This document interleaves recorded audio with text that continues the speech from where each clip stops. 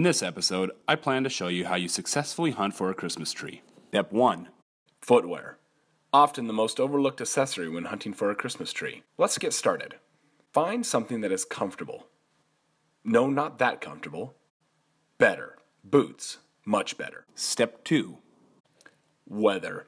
Even the most experienced hunter can be caught off guard by a sudden snowstorm or a wind gust. So be sure to check a reliable source. Not this one, as you can see the batteries are dead, so we'll just have to wing it. Step 3 Apparel. This is the only wool that I own. I, and I should have suspenders, but I don't have those. I do have jeans. It's the closest to a lumberjack I can come. Step 4 Sustenance, or food. I suggest eating something like pizza. It incorporates every single food group. And also eat it fast. That way your body has time to break down the sugars and turn it into energy, which you're going to need for later. Step 5 Facial hair. Often looked over by many, and I'm sorry that this is the best I can do under short notice. In fact, this is about the best I can do anyway. But dang, I look good, don't I? Step 6 Weapons. The most widely accepted weapon in the lumberjack arsenal is a chainsaw. If you'd like something a little bit more traditional, maybe an axe is your liking. Make sure it is sharp, sharp enough to split a hair. A torch is a tree's worst nightmare.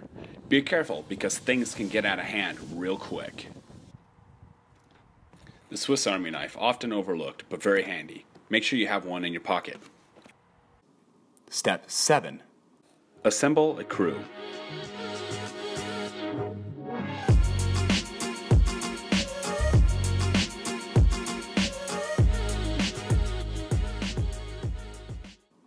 Step 8 Roll out.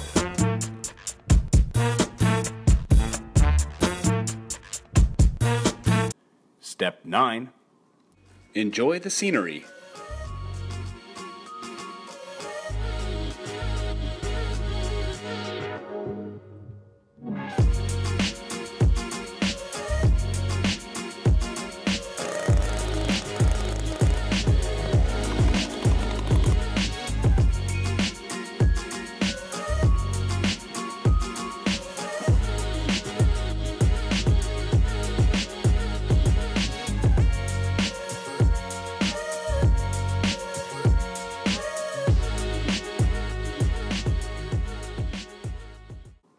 Step 10 Scout the area. Look around, find the groupings of trees. Find the one that best suits your liking.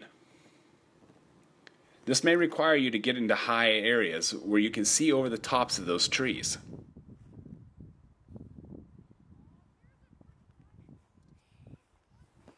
Step 11 Locating the tree. Once you found a tree that you believe will fit in your home with very little modification, you need to confirm that it isn't too ripe. In order to determine this, you must taste it. You must take a piece of the tree and put it in your mouth and chew it. You will notice that it has a very pitchy, pine solly. That, that was disgusting. Don't do that. Step 12 Harvesting the tree.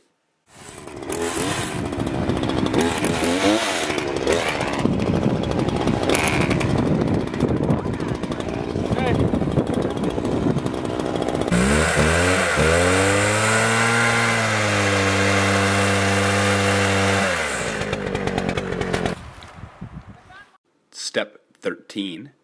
This is the part where you wish that your weather station worked, and you realize that this could be bad, that this could turn out like the Donner Party.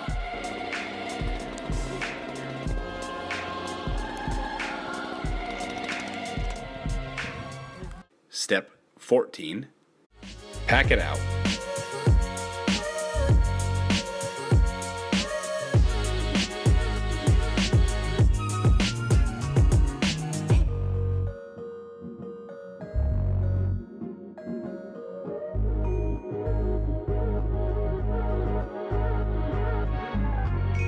Step 15 Trophy Photo.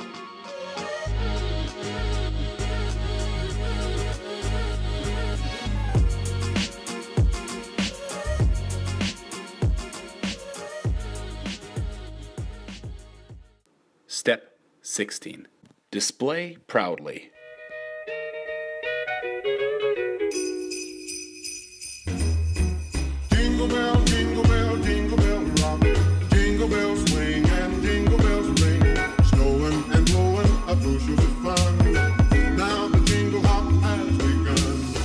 jingle bell, jingle bell, jingle bell rock. Jingle bells